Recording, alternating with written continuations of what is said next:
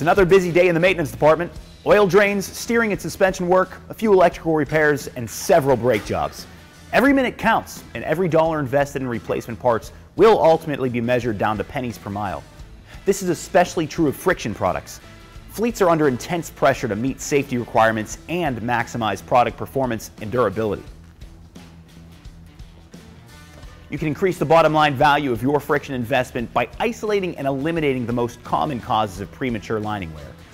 And all of the answers you're looking for can be found right here at the maintenance shop in the Core Bank. The Core Bank is the ultimate source of truth when it comes to determining how a friction product is performing under real life conditions.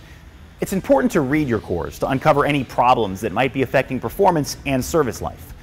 This fleet's core bank reveals several common signs of premature lining wear and other issues. First and most common friction issue is a cracked lining, like this one. The North American out of service criteria define a cracked lining as a crack or void that is observable on the edge and wider than 1 16th of an inch, or a crack observable on the edge that is longer than one and a half inch. Some friction suppliers are going to tell you that cracked lining is unavoidable, some will point to problems like rust jacking, imperfect shoe table, poor reline quality, or a lack of specialized coating as the root causes of cracking. We don't agree. The most common reasons for cracked lining is inadequate product quality and particularly a lack of strength and flexibility. A brake block needs to be both strong enough to provide powerful stopping and flexible enough to withstand shoe table rust issues and heat concerns.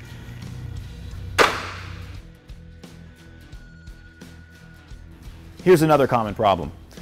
A shoe that's been contaminated by oil from a failed oil seal. Once a shoe's been contaminated with oil, it should not be reused. Federal Mogul Motor Parts recommends that you replace it with a new, relined shoe. So just as quality should always come first when choosing brake linings, be sure to invest in top quality seals from a trusted manufacturer. Heat damage is another avoidable problem. Surface cracking like this can be caused by excessive heat, which means there's a problem on at least one of this fleet's vehicles. Excessive heat may be tied to out of specification brake component problems, driver issues, or the use of an incorrect friction material.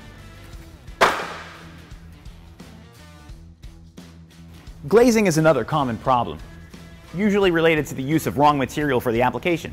Other causes include poor brake adjustment, an air pressure issue, and insufficient friction contact.